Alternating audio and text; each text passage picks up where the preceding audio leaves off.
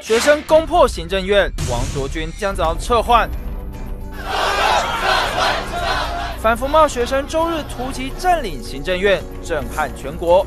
总统马英九及行政院长将以化紧急危机处理，严令警方强势驱离。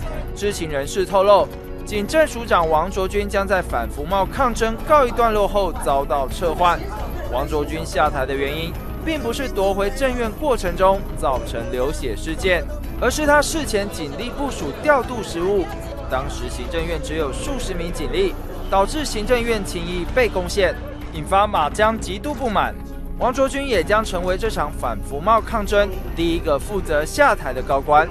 国安人士也透露，事前曾建议立院警力调往行政院等周边重要公务机关，包括行政院及中央联合办公大楼，加强防卫。警政署对相关建议全部理会。基层警员对此在脸书热烈讨论，意见不一。有警员说，署长当然要负责，官员只会将责任推给警察。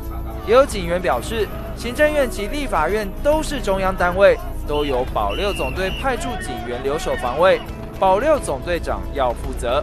而北市警局负责编排警力勤务规划的保安科也责无旁贷，要署长负责说不过去。至于北市议员高嘉瑜昨天公布北市内湖分局交通分队警员严若胜。当天凌晨一点多，在脸书贴文，以偏激言论制造社会恐慌。出面致歉的严若胜遭记申诫两次。台中市雾峰警分局十九甲派出所苏姓警员不爽销价支援，在脸书贴文干爆女报名，也遭记两次申诫。动新闻综合报道。